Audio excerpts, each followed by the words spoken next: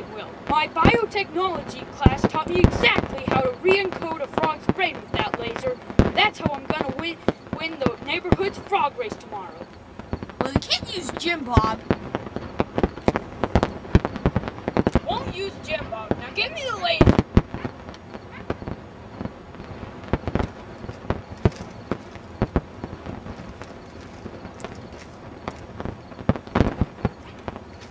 And now, to work!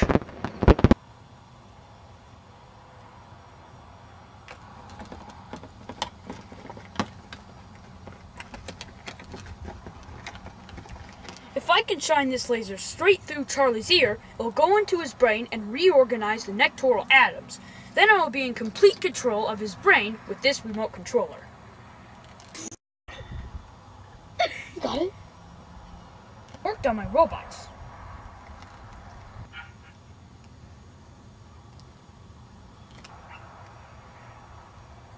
Now time for the laser. Now, as I am shining the light through his ear, I am rearranging his nectoral atoms. Okay, now I am in complete control of his brain.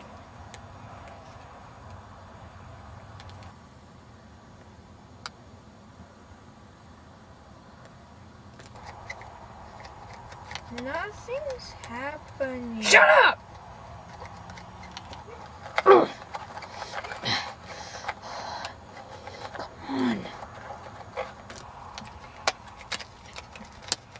Ah, no idea.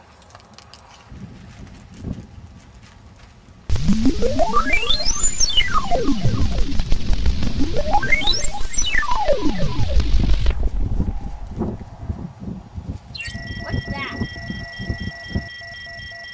Oh, this this is my tracking device system. I've inserted tracking devices to all of our pets.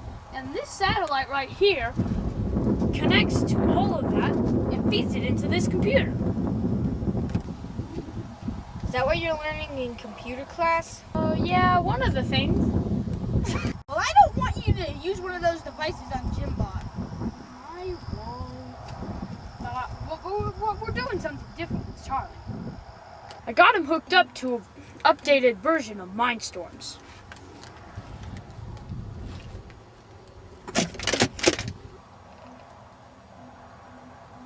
Don't worry, I got him hooked up to my program.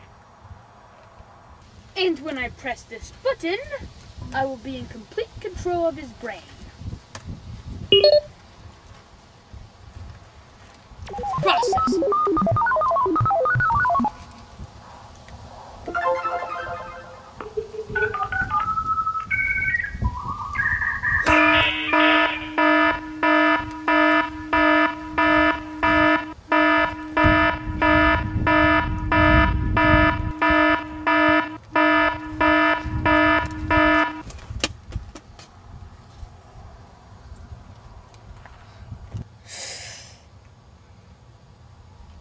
Is why I've never let you use Jim Bob.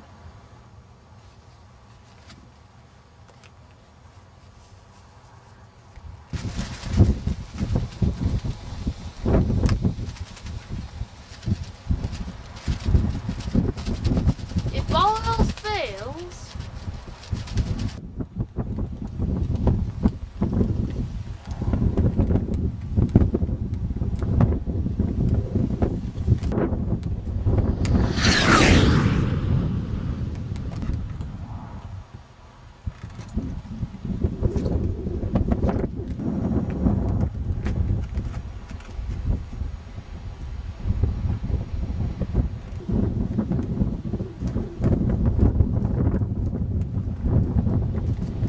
yes, this will definitely work. I don't think that's allowed. Then what do you suggest? Well, Jim Bob can happen to me as fast as he can if I sing a special song. Oh, Jim Bob, won't you come to me? Oh, Jim Bob. Oh, you just shut up? There's no way your stupid big fat frog, Jim Bob,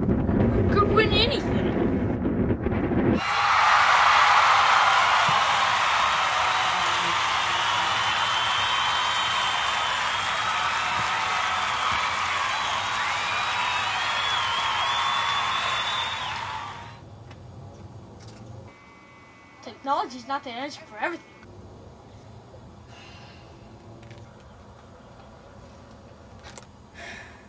I guess it's just time to start th- seeing things your way.